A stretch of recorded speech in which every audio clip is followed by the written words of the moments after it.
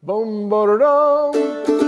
Howdy, friends and neighbors. Banjo Ben here with mandolin today. We're going to talk about the ideal practice session as it pertains to mandolin. This is part of the Theory of Practice course, which is a huge course that's all about teaching you how to practice and how to get the most out of your practice sessions. And also to ultimately answer that question that we all have what do I need to practice? Well, if you follow the course, as prescribed, you're never going to have to ask that question again. So if you haven't watched the first few lessons in this course, you want to go check those out the 11 tips for successful practice, as well as the overview of the ideal practice session. Now, what we're going to do is we're going to apply that to the actual instrument of the mandolin. We're going to go through each section of the ideal practice session. I'm going to show you what it actually looks like, give you some tips as we go along the way, and hopefully inspire you to practice like you've never practiced before. If you're watching somewhere else besides banjobenclark.com, I'd be honored to have you as a Gold Pick member over on the site. You can access this course, which is well over an hour long, plus hundreds of other lessons for banjo, mandolin, guitar. I'd be honored to have you on board. Let's get to practicing and let's practice good. Part one is the warm up session. Let's take a look at the ideal practice session see what we're after in this particular part. 10 minutes is what we're aiming for. Sometimes we have that time, sometimes we don't. But what I like to do when we're in an organized practice session in our place that we've designated for practice, I like to start listening to music, uh, preferably on speakers, not headphones, because I want to hear my mandolin as I'm listening to this music. And we don't have to really be intentional as we listen to that music. It's more of an exploratory thing, something uh, that puts us in the mood to play. And often I'll just start a playlist, YouTube, um, it goes to the next track, and I hear something during my warm up that I think is really cool and that I would want to learn. And so I take this time, this part one, to also fill in the spots for part five, which is the explore. So if I hear something really cool, uh, Wayne Benson lick, then I go over to my empty 60 minute practice session and I say, uh, Wayne Benson, and I might make a note of which song it is so that I know I have something to go to whenever I reach the exploration uh, part of my practice. Okay, next is stretches. So as I'm listening, I'm beginning to stretch. This is really important, especially for mandolin. You know, you might think because it's such a small instrument that stretching's not as important, but, but it is. I have so many grown men with big hands tell me that they cannot possibly do the four finger G chord, right? Um, and I'm always really easy on them because I remember how difficult it was to work through that. But there are six and seven year olds that are doing that pretty well. And the reason is because their fingers have just been stretched and the gaps between their fingers. And uh, sometimes it's some technique. I don't mean to get into a lesson on that right now, but a lot of times people are trying to play mandolin with their fingers pointing straight up at the sky. Well, you're not going to be able to stretch and reach those chords. You have to twist your wrist, your fingernails actually point towards your right shoulder. That allows you to reach more. And there's other um, contraptions that we can use to help us condition and stretch our fret hand and our pick hand. We have grip exercisers.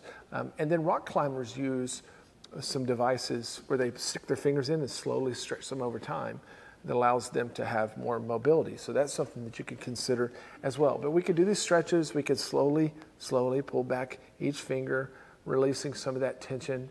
Um, I like to also just get my hands out on a table and just raise the tips of my fingers to start working some of the carpal tunnel type um, tendencies that I have, as well as tennis elbow, things of that nature. And uh, we're just trying to get loose. Sometimes shake it out, um, some people like to do jumping jacks, get the blood flowing, whatever it is to get ready to play. And then I will begin to play. In my warm up session, I'll begin to play and I'll be present. What do I mean about that? Well, I mean that I'm not just going to immediately jump to something fast and something that I like to play. I'm not going to try to play rawhide at 150 beats per minute. I'm going to play slowly and intentionally, um, setting us up for part two, which is a calibrate section. But one of the first things that I do, sometimes I shut off the music, or maybe I just start playing rhythm along, and I'm going to listen to that chop. And that chop, I know what it sounds like when it sounds good. And some days it's better than others. Isn't that amazing? But I'm listening for that. And I'm just going to play through my chop until I can consistently get it sounding the way that I want it to. Then I might try to do some easy scales.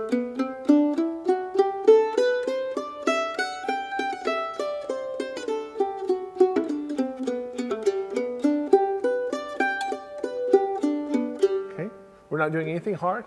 I'm also not doing anything, playing anything that's causing me to have to concentrate on what I'm trying to play. We're not learning anything that's going to engage a different part of our brain. We're going to play and be present on what we're playing. We own the things that we're warming up with. And these don't get old because as we master things, we'll begin to start shuffling more material into our warm up phase, things that we've, um, like I said, mastered and, and gotten used to. So I will pull out just easy things, sometimes easy melodies that I don't have to think about, and I'll be slow and intentional just to begin warming up with those. And um, maybe towards the end of my warm up session, I'll put on some music that's a little bit quicker and begin chopping through with it. I'm not really trying to play solos and stuff yet. Uh, just getting used to the instrument and listening to the instrument. And that's just as important as playing, is using our ears. Does the instrument sound good? Is it in tune? That's important. And are we making good contact with the instrument, both with our fingers and our plectrum? Okay, I think we've covered warm up pretty good. Now we're ready to start digging into the actual practice session. So that warm up part can take five to 10 minutes, depending on how much time that you have. And you may get into something in your warm up time that just sends you down a rabbit hole of good, productive practice. That's okay. That's what this ideal practice session is about. It's about leading you on. So I say embrace that and thank goodness that the you know the intentionality of the ideal practice session took you somewhere where you wanted to go. Let's look at the calibrate part. Part two is the calibrate section. What does it mean to calibrate? Calibrate means to have some type of measurement that's considered the standard, and we're trying to take whatever we're dealing with and make it match the standard. Okay, so we're still going to play slow here, but whatever we're playing, we're going to try to play perfectly because that's the standard. We're going to try to calibrate everything about our playing to a perceived standard that we want to attain. Uh, what does that mean? Well, if we look here at the iPad, I've got a few words that help us picture that. We're going to focus on our accuracy. We're going to focus on intentionality. We are going to note the progress of what we're doing. And then we're going to send what we work on here and what leaves the box of calibration to sections three and four. Where do we get the things that we're working on to calibrate? Well, we can get it from anywhere. But as you practice more and more days using this system, you're going to be sending material to different boxes on following days. So after a couple or three days, you're going to have a lot of material floating around through these boxes. Um, these recommendations here, like send to three and four, send to two and four, those aren't hard, fast rules. That's just generally where the flow of content is going to go. So as we begin to expand, we're going to maybe throw some things back to the calibrate box. As we explore, we're going to throw some things into the calibrate box. This is where we just try to play the lick right. Okay, we're just doing our best. It's not the most microscopic level that we're going to uh, take or view on our playing. That's coming up in part four. Uh, but this is where we really start thinking and, and, holistically about the mandolin. So we're thinking about how we hold our pick. Is that right? When's the last time you calibrated that? We're going to think about how we hold the mandolin with our fret hand. We're going to think about our finger pressure. Are we playing too hard? Is there something going on that's causing pain or discomfort? We're going to calibrate, think about all the things that we've learned in the past. Have we developed bad posture? Have we introduced some kind of tension in our arm or shoulders and neck, wrist, elbow? So those are the things that we're going to ask about in this calibration part. And then what I like to do is begin playing, you know, the material is going to build there, but I like to play something that's pretty challenging that requires me to play perfectly to be able to get it. And preferably something that I'm going to be using in my playing. So here's an example. I don't have the tab for this, although it may be on the website somewhere, but it's just a D lick that I came across or remembered a few days ago and began trying to work it back into my playing. It's kind of challenging for me, so I'm going to use it here. It sounds like this.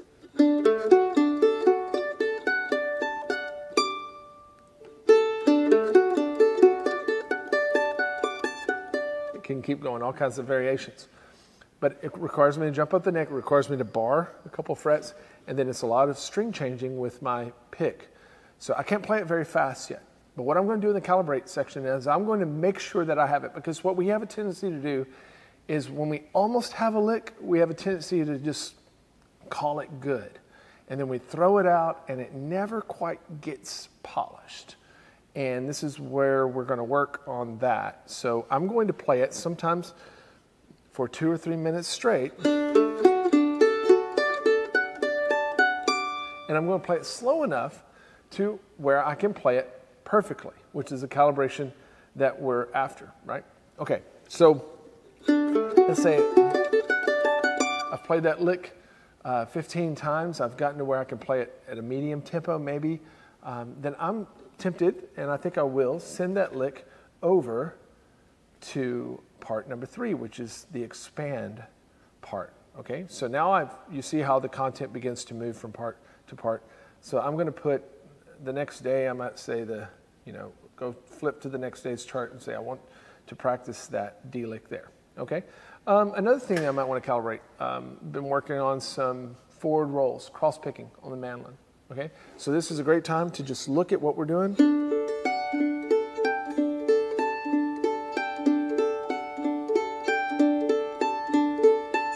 And I'm going to record. That's very effective. Record what I'm doing here. Listen back to it. Is it perfect? Are you trying to play it too fast? Are mistakes shining through? Um, what does it look like? What if you can video record it from various angles? What does it look like? If you were watching yourself play across the jam circle, what's going on? So we're going to just work on calibrating each one of those things. And if it's something that we feel confident, we calibrate, work on calibrating it, and it's something we feel confident with, we're going to send it over to the expand. We're going to start working it into our playing and be intentional in that. If it's something that needs even more work at a more microscopic level, then I'm going to send it over to the audit section because that's where we're really, really going to dig down deep and maybe spend several minutes on just a couple or three notes to really get it. I can't wait to show you that. You're going to love it. Um, but that's how we work through our calibrate part. We're still playing slow. We're still playing very, very intentionally. Uh, we're, we're taking our time. We're doing things repetitively. We are actively listening. We don't get lazy with our ears and just say, ah, it's fine. Um, this is where we begin to really get better. Okay? In the next segment, we're going to look at exploration, which is filled in by some of the things that we calibrate as well as some of the things that we explore.